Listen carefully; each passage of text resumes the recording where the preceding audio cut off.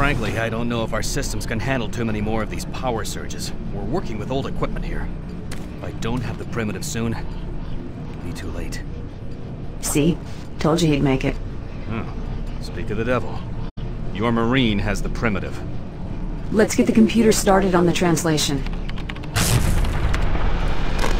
Damn! Another surge. Still there? Dr. Cloud, are you there? Here. A amazing. Everything is right here. The invasion, the demons, it's all exactly the same as the ancient writings. Dr. McNeil, our assumptions were correct. The artifact is a weapon of unbelievable power. That explains Betruger's obsession with the ancient civilization. Yes, but it looks like there's more to all of this than we had thought. The ancients write of three unstoppable beasts, horrific and powerful demons they called the Hunters. Apparently a reference to their protection of the artifact. I'll contact you when I know more. Good luck. I'll be in the Phobos labs. This is starting to make some sense. Not only is the artifact a source of great power, it's also a gateway. A one-way portal from Hell to our dimension. I need to gather more information here, but Dr. McNeil is an expert on the ancient civilization. You must get the artifact to her if we're going to understand how to destroy it. Take the key to the armory. We need some extra firepower.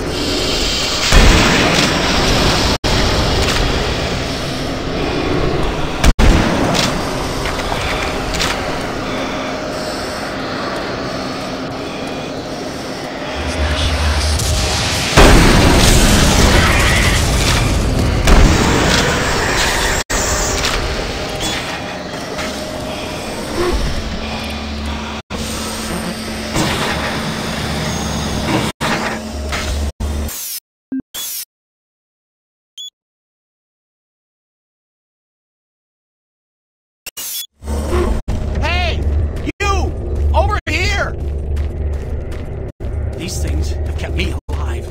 There are more bots around, but I've sent them into the tunnels.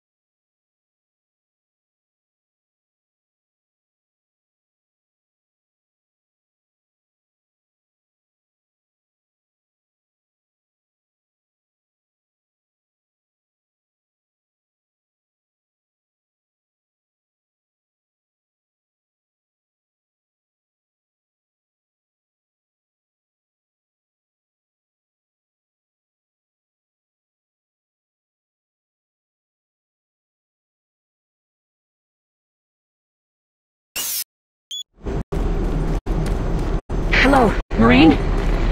If you're hearing this, listen to me. You must get the artifact to Delta Labs by using the Phobos experimental teleporter near your position. I have the information from Dr. Cloud, and the only way to end this is to bring that teleporter onward and transfer to Delta. The artifact can be destroyed by taking it over to